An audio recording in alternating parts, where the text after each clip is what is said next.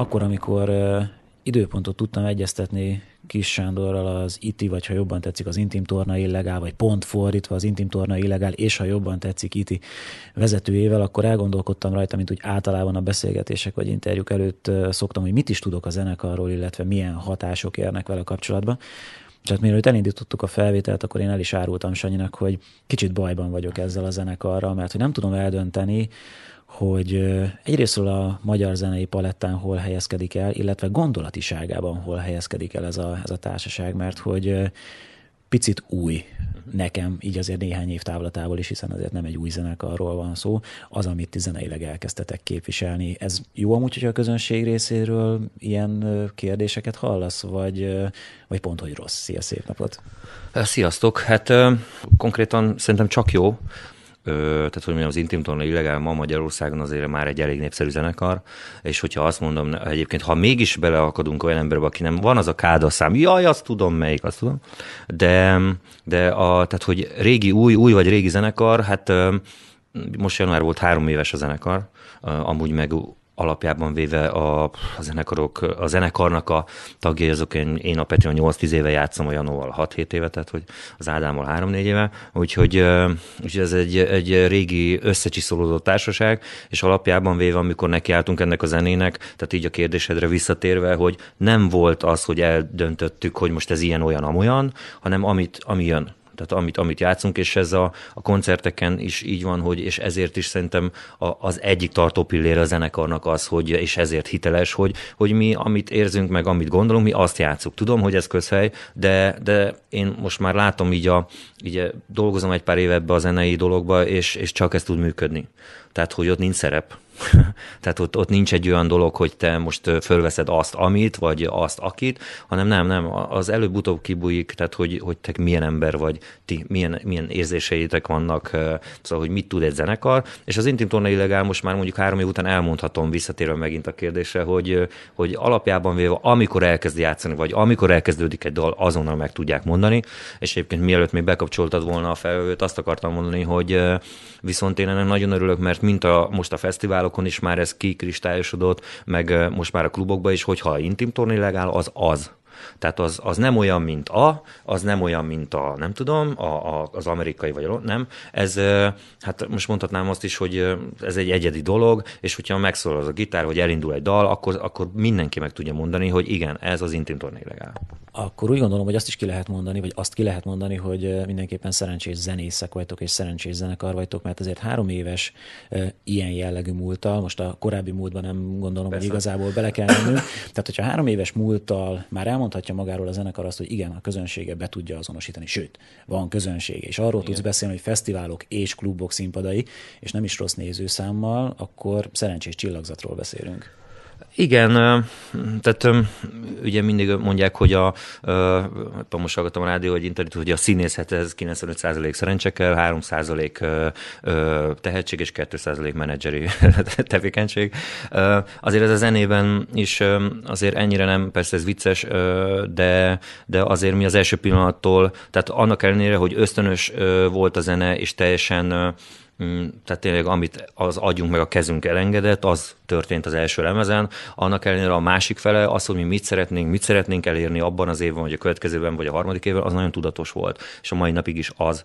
Tehát, hogy mint a, a, a reklámokba, a promócióba, vagy az, hogy hogy szólunk, vagy, vagy hogy, hogy, hogy inkább na, egyszerűbben fogalmazok, tehát az a vágelyukat a Kádban című dal, hogy fog eljutni az emberekhez, vagy hogy szeretnénk, hogy, hogy, hogy az intim torna illegál eljusson, és inkább e, ezt szerintem most már mindannyian tudjuk, hogy ez a nehezebb dolog. Tehát kijönni a próbateremből, becsukod az ajtót, és azt mondod, na most akkor hogyan tovább. És ott van az oroszlán rész. De ehhez e, azért hozzá kell tennem, hogy, e, hogy nagyon sok barátunk, meg nagyon sokan úgy álltak ehhez, hogy, hogy persze segítünk, és aztán úgy, úgy látták, hogy mi ezt akarjuk, meg hogy, meg hogy tehát nincs ez a szétcsúszás, hanem, hanem tényleg erőltetjük és csináljuk, és akkor szerintem sokat dolgozunk rajta a mai napig is, meg még szeretnénk is sokat, és szerintem ennek látni az eredményét. De mondom, alapvetően ne hagyjuk ki azt az apró lépést, hogy szerintem nagyon jó a zenekar, és a zenekarnak a felfogása is. Tehát, hogy nincs az, hogy hogyha mondjuk akármelyikünk valamit kitalál, és az úgy tűnik, hogy átmegy a zsűrin, akkor az végigviszük. Tehát, hogy itt nincsenek olyanok. Tehát ugye van az, hogy a, a kreatív meg a kreatív között az a különbség, hogy az egyik gondolatban, a másik meg technikailag megcsinálja.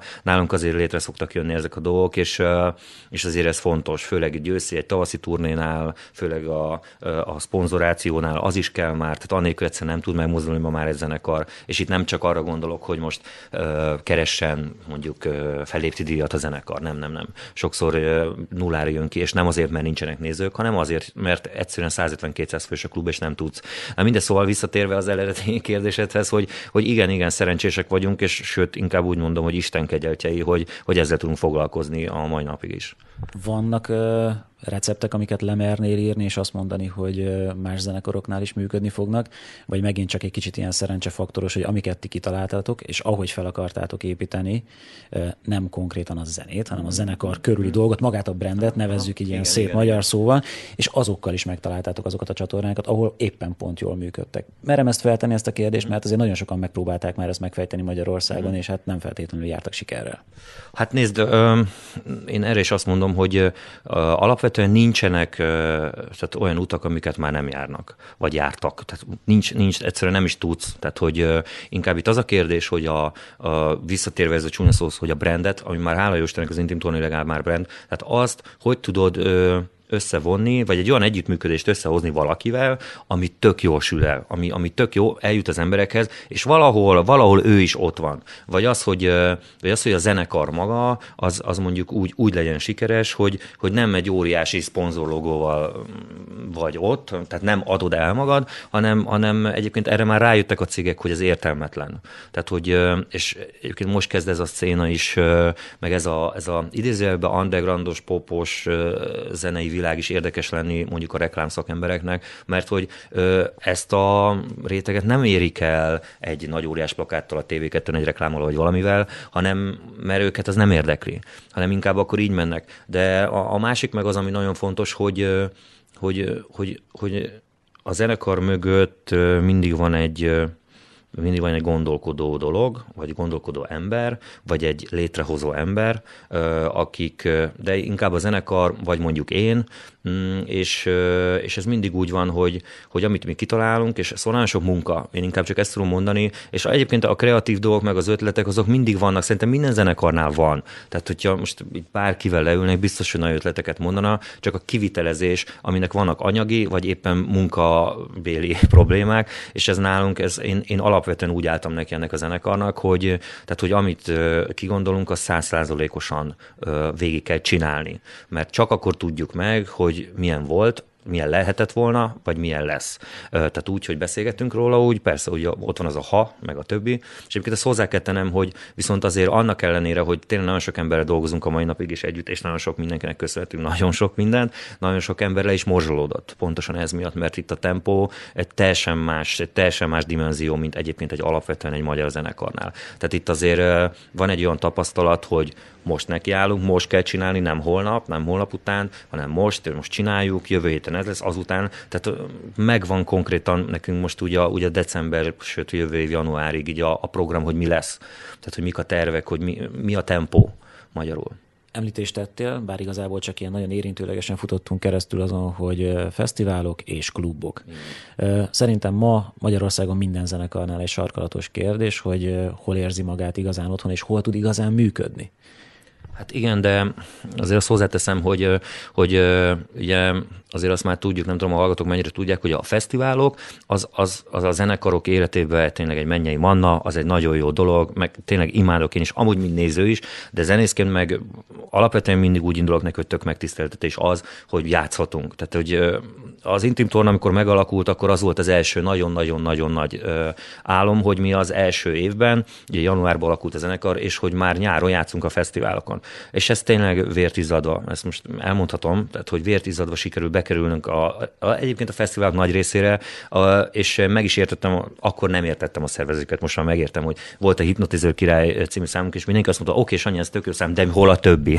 tehát, hogy mi az? És azért azt tudjuk, hogy akkor március közepén meg a kislemezünk, és akkor szerveződtek már a fesztiválok, és akkor mondta, hogy jó, jó, oké, de nekem egy órát kéne, tehát hogy jó, hogy van, és akkor utána mit csináltok. És hát ugye nyilván azt mondtam, hogy figyelj, ez egy jó zenekar, tehát hogy, de azért nyilván a szervezők is olyanok, hogy, hogy biztosan mennek. Tehát alapvetően a, tehát hogy mondjam, tehát a fesztivál ilyen szempontból nagyon jó, de hozzáteszem az előjelbe, hogy csalóka is.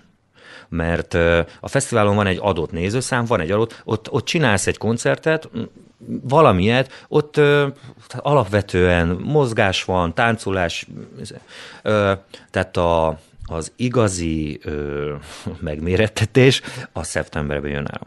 Tehát a, a, akkor van az, hogy szeptemberben elmész klubokba, és teljesen úgy, hogy önfinanszírozásból, tehát egy zenekar. Egyébként valamennyire örülök is neki, hogy így van. Tehát, hogy, mert itt most már tényleg az van, hogy csak azok a zenekarok tudnak egyébként elmenni klubozni, akiknek van létjogosultsága. Most ez mindegy, egyébként belemehetünk abba, nem szeretnék, hogy miért van nekik, mert szerintem az értelmet, de van, mert végül is azok a zenekarok, akik megtöltenek egy klubot, azok játszanak. Akik meg nem, azok meg nyilván, tehát megvan az oka, hogy miért nem. Tehát ezért mondom, viszont egy fesztiválon, akik meg mondjuk egy klubot nem tudnak megtölteni, azok meg lehet, hogy csinálnak egy teltházat, de ez nincs összefüggésbe. Viszont jó értelemben akkor talán arról is lehet beszélni, hogy a fesztiválokon lehet megalapozni, hogy utána a klubszezonod jó legyen. Abszolút, abszolút, abszolút, abszolút, és én a, a mai napig is, a mai napig is úgy van nálunk, hogy, hogy nagyon-nagyon sok mindent, sok energiát fektetünk arra egy fesztiválon, hogy a fények, a hang, vagy egy olyan, olyan plusz legyen a zenekar látványába, vagy hangzásába, ami egyébként a, azt mondja, hogy hú, basszus, hú, ezeket megnézem majd, amikor, vagy, vagy majd figyelem, vagy tök jó volt. És egyébként ez nekünk mindig bejött. Tehát, hogy meg nem, hogy nekünk, szerintem úgy általában az, hogyha van egy zenekarba, és most nem rólunk beszélek, energia, meg munka, meg ötletelés fektetve, akkor szerintem az visszajön aztán a klubszezonba. Biztos vagyok benne, biztos vagyok benne.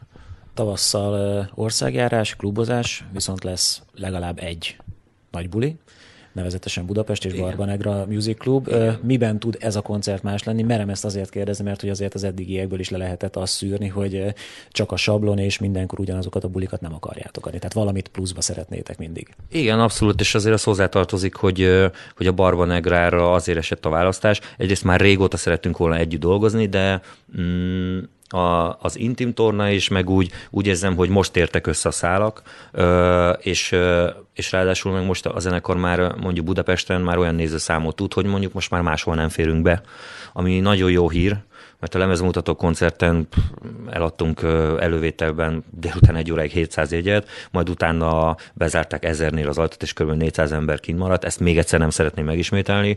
Ez én sajnálom, és innen is elnézést kérek a rajongóktól, de most ígérem, hogy ez nem fog megtérteni. De, de mi Pesten most már azt csináljuk, hogy, hogy egy-egy nagy buli van, és akkor az, tehát ilyen két-három havonta, mert viszont nem akarom szétforgácsolni, mert akkor meg nem tudok olyan színvonal, nem tudok olyan olyan látvány, nem tudok olyan hangzást, nem, akkor legyen egy-egy nagy koncert, amin egyébként minden van. Tehát, hogy most lesz, ami a lemezborítón látható, a betűk, a nagy kétméteres betűk, azok ugyanúgy ott lesznek, azok világítanak, néha stroboszkóp néha, akkor hát egy csomó meglepetés lesz egyébként rajongóknak, amit még nem árulok el, mert figyelni kell a Facebook oldalunkat, meg a Barbanegra oldalát, és akkor ott nyomon követhetik ezt a dolgot, de szerintem érdemes lesz eljönni. Annyi biztos, hogy már a, az előzenekar a Blaha Louisiana nevezető együttes lesz, utána Intim Tornajogál, és utána pedig mindenki maradjon, mert óriási parti lesz DJ Zillel, úgyhogy mindenkit várunk sok szeretettel.